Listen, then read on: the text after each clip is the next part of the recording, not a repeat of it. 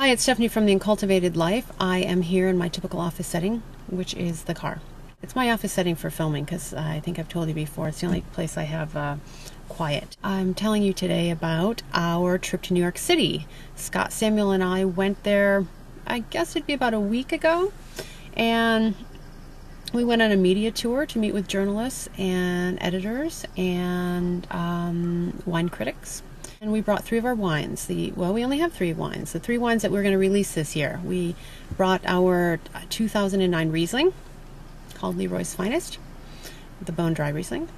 We brought um, the 2008 Brunello based wine called Gampo, and we brought the 2008 Tempranillo based wine we call Home Place. I have to say, uh, we were, you know, obviously crazily nervous about it. You know, how will our wines be received? And, you know, obviously people have yet to say anything about them in public or on the record.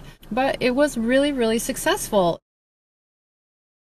People were really surprised that first time grower, winemaker people like ourselves, um, who didn't have, you know, 20 years or more of actual experience under a belt um, produce the wines that we produce. Rather noteworthy wines. And I think that was something that they were um, surprised at, didn't expect.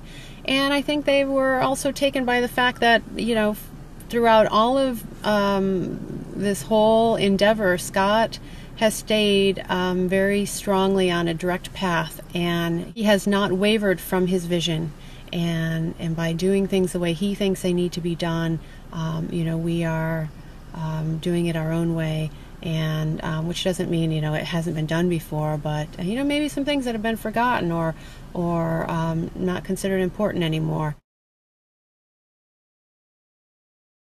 Red wines, Gampo and Home Place, the camps were really split. They were either gaga over Gampo or gaga over Home Place. And it's really not surprising because they're completely different uh, kinds of wines. And it was always interesting, though, to see um, which individual would gravitate toward one more than the other.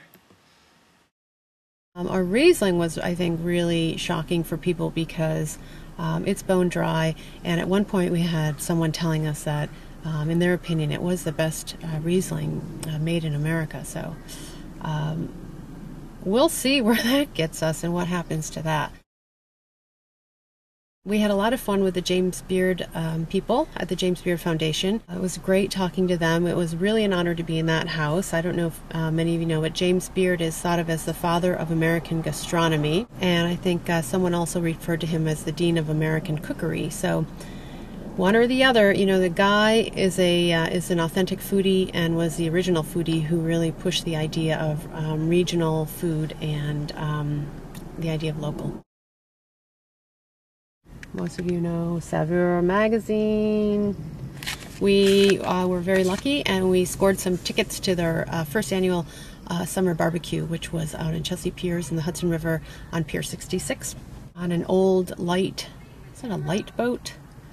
It was an old boat that used to be used as a um, lighthouse, and now it is this cool, um, funky kind of spot. And that's where the party was. A little shaky, seasicky, but it was fun. Their barbecue, let me see that. Barbecue um, recipe book. Hunter Lewis, Tony Mantuano, spoke with him a little bit. He had a fantastic sardine uh, recipe. And so we had a great time there, just sort of um, hanging out and watching watching New York. Final uh, big uh, highlight was we had a Fast and Furious luncheon with David Rosengarten. He wanted to meet us at uh, the Grand Central Station Oyster Bar. He thought our Riesling would pair well with oysters. It's something Scott had always been uh, talking about. Um, and whoa, yeah, um, our Riesling with oysters was really special. And while we were there, they were also showcasing the green herring from Holland, I believe from the North Sea. David explained to me how uh, typically when herring is harvested, it's usually fatty, and this is um, younger um, herring um, earlier in the season, and it was fantastic. I could have eaten, you know, 10 plates of it. Overall, it was a really great trip, and we'll see. We'll see what happens. I guess next steps for us are to get our wine labeled and get our website up and running and um, cross our fingers. And there you go. So uh, thanks for listening, and I'll talk to you again. Bye.